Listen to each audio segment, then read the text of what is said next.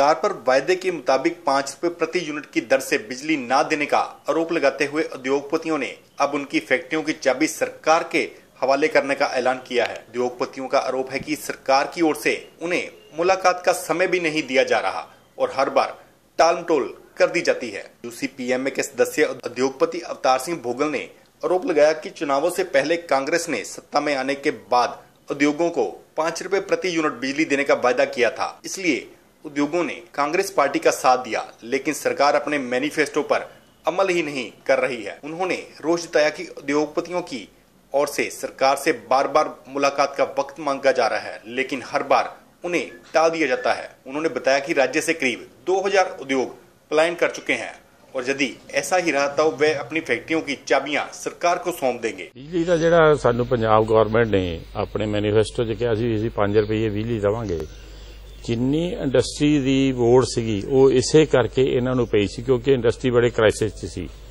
ਔਰ ਇਹਦਾ ਤੁਸੀਂ ਸਬੂਤ ਇਹਨਾਂ ਦੇ ਕੋਲ ਆ ਵੀ ਜੇ ਆ ਦੇਖਣ, ਸ਼ਹਿਰ ਦੇ ਵਿੱਚੋਂ ਸਾਰੀ ਵੋਟ ਇਹਨਾਂ ਨੂੰ ਪਈ ਆ ਔਰ ਉਹ ਵੋਟ ਤਾਂ ਇਹਨਾਂ ਨੇ ਸਾਨੂੰ ਕੋਈ ਫਾਇਦਾ ਨਹੀਂ ਦਿੱਤਾ, ਕਿਉਂਕਿ ਜਿਹੜਾ ਇਹਨਾਂ ਨੇ ਕਿਹਾ ਅਸੀਂ 5 ਰੁਪਏ ਦੇਣੀ ਆ, ਤੇ ਉਹ ਸਾਨੂੰ ਹਾਲੇ ਤੱਕ ਲਾਰੇ ਤੇ ਲਾਰਾ ਲੱਗੀ ਜਾ ਰਿਹਾ।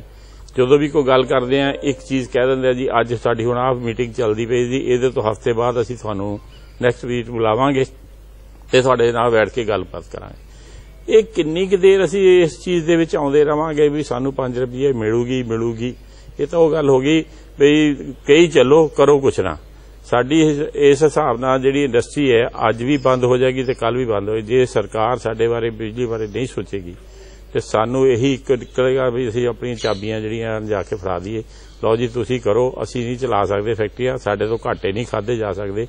ਪੰਜਾਬ ਅੱਗੇ ਹੀ ਇੰਡਸਟਰੀ ਜਿਹੜੀ ਹੈ ਤਬਾਹ ਹੋਈ ਜਾ ਰਹੀ ਹੈ 2000 ਤੋਂ ਜ਼ਿਆਦਾ ਇੰਡਸਟਰੀ ਛੋਟੀ ਛੋਟੀ ਬੰਦ ਹੋ ਚੁੱਕੀ ਹੈ ਔਰ ਜੇ ਇਹੀ ਹਾਲ ਰਿਹਾ ਤਾਂ ਜਿਹੜੀ ਮਾੜੀ ਮੋਟੀ ਚੱਲਦੀ ਇੰਡਸਟਰੀ ਹੈ ਇਹ ਵੀ ਬੰਦ ਹੋ ਜਾਏਗੀ ਸਰਕਾਰ ਨੂੰ ਇਹਦੇ ਬਾਰੇ ਸੋਚਣਾ ਚਾਹੀਦਾ ਜਲਦੀ ਤੋਂ ਜਲਦੀ ਜੇ ਇਹ ਨਹੀਂ ਚੀਜ਼ ਕੋਈ ਕਰ ਸਕਦੇ ਤੇ ਇਹਨਾਂ ਨੂੰ ਆਪਣੇ ਮੈਨੀਫੈਸਟੋ ਇਦਾਂ ਦੇ ਝੂਠੇ ਨਹੀਂ ਬਣਾਉਣੇ ਚਾਹੀਦੇ वहीं इस मौके federation of association of small industry of India के चेयरमैन बतीश जिंदल ने भी कांग्रेस सरकार पर अपने किए गए वायदों पर पीछे हटने का आरोप लगाया ਦੇਖੋ, ਦੋ ਚੀਜ਼ਾਂ ਦਾ ਫ਼ਰਕ ਕੀ ਆ ਗਿਆ ਕਿ ਸਰਕਾਰ ਕਹਿ ਰਹੀ ਹੈ ਕਿ ਬਿਜਲੀ ਅਸੀਂ 5 ਰੁਪਏ ਦੇ ਰਹੇ ਹਾਂ, ਇੰਡਸਟਰੀ ਨੂੰ ਮਿਲ ਨਹੀਂ ਰਹੀ। ਕਿਤੇ ਨਾ ਕਿਤੇ ਜਿਹੜੇ ਡਿਫਰੈਂਸਿਸ ਆ ਆਫੀਸਰ ਵੀ ਸ਼ਾਇਦ ਸਾਨੂੰ ਵੀ ਤੇ ਸਰਕਾਰ ਨੂੰ ਦੋਨਾਂ ਨੂੰ ਬੇਵਕੂਫ ਬਣਾ ਰਹੇ ਨੇ।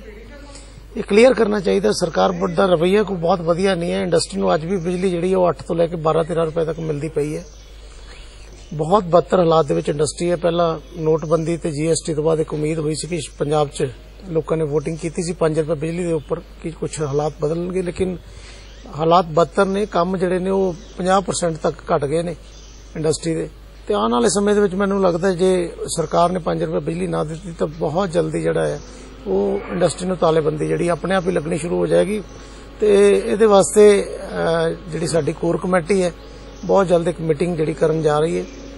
ਕੋਸ਼ਿਸ਼ ਕਰਾਂਗੇ ਕਿ ਸਰਕਾਰ ਨੂੰ ਮਨਾਇਆ ਜਾਵੇ। ਜੇ ਸਰਕਾਰ ਨਹੀਂ ਮੰਨੇਗੀ ਤਾਂ ਫਿਰ ਜਿਹੜਾ ਵੀ ਉਸ 'ਚ ਫੈਸਲਾ ਹੋਏਗਾ ਕੋਈ ਸਖਤ ਕਦਮ ਵੀ ਚੱਕਣੇ ਪਏ ਸਰਕਾਰ ਦੇ ਖਿਲਾਫ ਖੜਨ ਵਾਸਤੇ ਤਾਂ ਸਾਨੂੰ ਕੋਈ ਉਸ 'ਚ ਵੀ ਗੁਰੇਜ਼ ਨਹੀਂ ਕਿਉਂਕਿ ਇੰਡਸਟਰੀ ਚਲਾਉਣਾ ਜਿਹੜੀ ਹੈ ਉਹ ਸਾਡੀ ਬਹੁਤ ਵੱਡੀ ਜ਼ਿੰਮੇਵਾਰੀ ਹੈ। ਲੇਕਿਨ ਇਸ ਟਾਈਮ ਪੰਜਾਬ ਦੀ ਇੰਡਸਟਰੀ ਵਾਕਈ ਬਦਤਰ ਹਾਲਾਤ ਦੇ ਵਿੱਚ ਨਿਕਲ ਰਹੀ ਹੈ। ਅੱਛਾ ਇੰਡਸਟਰੀ ਨੂੰ ਕੋਈ ਬਾਹਰੋਂ ਵੀ ਆਫਰ ਆ ਰਹੀ ਹੈ ਕੋਈ ਸਟੇਟ ਤੋਂ ਬਾਹਰ? ਇੰਡਸਟਰੀ ਜਾ ਰਹੀ ਹੈ ਕਿਉਂਕਿ ਬਾਹਰੋਂ ਦੀ ਦਿੱਕਤ ਕੀ ਹੈ ਕਿ ਪੰਜਾਬ ਦੇ ਵਿੱਚ ਜ਼ਮੀਨ ਵੀ ਮਹਿੰਗੀ ਹੈ ਲੇਬਰ ਵੀ ਮਹਿੰਗੀ ਹੈ ਰॉ ਮਟੀਰੀਅਲ ਵੀ ਮਹਿੰਗਾ ਹੈ। ਇਸ ਕਰਕੇ ਜਿਹੜੀ ਇੰਡਸਟਰੀ ਹੈ ਉਹ ਆਟੋਮੈਟਿਕਲੀ ਹੀ ਹੁਣ ਤੁਸੀਂ ਕਲਕੱਤੇ ਚਲੇ ਜਾਓ ਇੱਥੋਂ 4 ਰੁਪਏ ਕਿਲੋ 5 ਰੁਪਏ ਕਿਲੋ ਜਿਹੜਾ ਤੁਹਾਡਾ ਲੋਹਾ ਸਸਤਾ ਹੈ। ਫਿਰ ਲੇਬਰ ਉੱਥੇ ਜਿਹੜਾ ਉਹ 7 ਤੋਂ 8000 ਰੁਪਏ ਇੱਥੇ 15 12 15000 ਤੋਂ ਘੱਟ ਸਾਨੂੰ ਕੋਈ ਜਿਹੜਾ ਕਾਰੀਗਰ ਜਿਹੜਾ ਹੈਲਪਰ ਵੀ ਨਹੀਂ ਮਿਲਦਾ। ਤੇ ਇਸ ਕਰਕੇ ਜਿਹੜੇ ਉੱਥੇ ਪ੍ਰੋਡਕਸ਼ਨ ਕਾਸਟ ਹੈ, ਜਿਹੜੀਆਂ ਬੜੀਆਂ ਕੰਪਨੀਆਂ ਉਹ ਅਫੋਰਡ ਕਰ ਸਕਦੀਆਂ, ਉਹ ਚਲੀਆਂ ਗਈਆਂ ਨੇ, ਲੇਕਿਨ ਛੋਟੀਆਂ ਜਿਹੜੀਆਂ ਨੇ, ਉਹ ਜਾਂ ਬੰਦ ਹੋਣਗੀਆਂ ਜਾਂ ਇੱਥੇ ਸ਼ਿਫਟ ਕਰਨਗੀਆਂ। ਇਸ ਕਰਕੇ ਸਰਕਾਰ ਨੂੰ ਚਾਹੀਦਾ ਕਿ ਇਹਦੇ ਵਿੱਚ ਕੋਈ ਨਾ ਕੋਈ ਜਿਹੜਾ ਵੀ ਡਿਸੀਜਨ ਲੈਣਾ, ਉਹ ਜਲਦੀ ਲਿੱਤਾ ਜਾਵੇ, ਕਿਉਂਕਿ ਜੇ ਇੱਕ ਵਾਰੀ ਇਹਦਾ ਰੁਝਾਨ ਚੱਲ ਪਿਆ, ਛੋਟੀ ਇੰਡਸਟਰੀ ਦਾ ਬਾਹਰ ਨਿਕਲਣਾ ਫਿਰ ਪੰਜਾਬ ਦੇ ਵਿੱਚ ਜਿਹੜੀ ਇੰਡਸਟਰੀ ਹੈ, ਉਹ ਚਲਾਉਣਾ ਬਹੁਤ ਔਖਾ। ਲੁਧਿਆਣਾ ਸੇ ਜਾਗਰਤੀ ਲਹਿਰ ਕੇ ਲਈ ਸੁਰਿੰਦਰ ਅਰੋੜਾ ਕੀ ਰਿਪੋਰਟ